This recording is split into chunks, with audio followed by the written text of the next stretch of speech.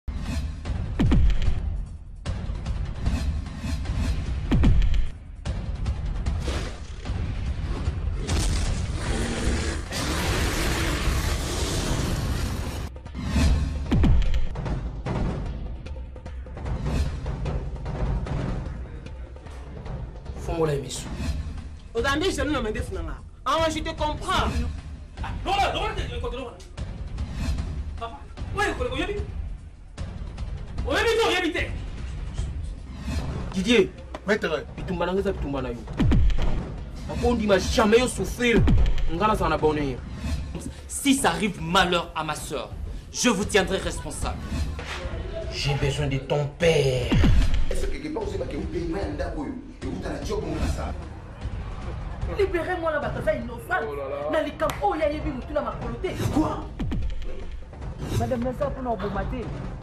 naza awa mpo na kotya mpe epui nga sosanaki ezaki mbongo babeti prof na bapesa ko bakola ntao oyo kolobaka ke naza mayele so bakutini nga ndako yo oyeba nde ozala na garde bakokengi bakuta